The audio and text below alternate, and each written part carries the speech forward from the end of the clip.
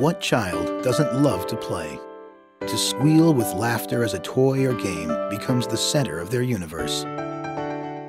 The children in the hematology unit of Russia's renowned Rostov Regional Children's Hospital are no exception. But their treatments often keep them bound to the machines and the medicine that help fight their cancer.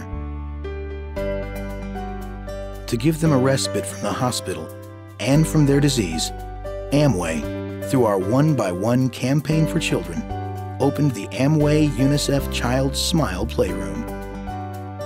It's one of more than 60 playrooms that will be designed in children's facilities all over Russia.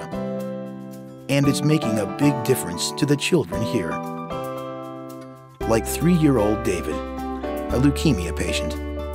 After his treatments, he can't get to the playroom fast enough. Its color, toys, and games invite him to have pure, simple fun. David's mother says it's heartwarming to watch him play and grin from ear to ear. If smiles begin to dim here, Amway business owners and employees make sure new toys and games are always available. There's another gift from Amway, only steps from the playroom.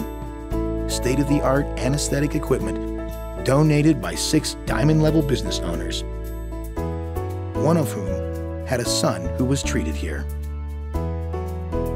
As an extension of the healing process, some of the children who once occupied rooms in the hospital attend the Rainbow of Friendship Camp on the outskirts of Rostov. It's a special camp for children 9 to 15 who are in remission from their disease and ready to move on with life. In a beautiful wooded setting and under the watchful eyes of carefully trained staff, they forge new friendships and build confidence through their accomplishments. Research even shows that because of their time at camp, they often emerge as leaders among their peers.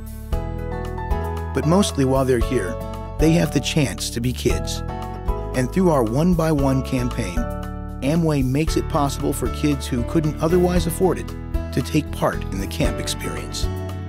We cover their room and their meals, and also provide supplies for campers.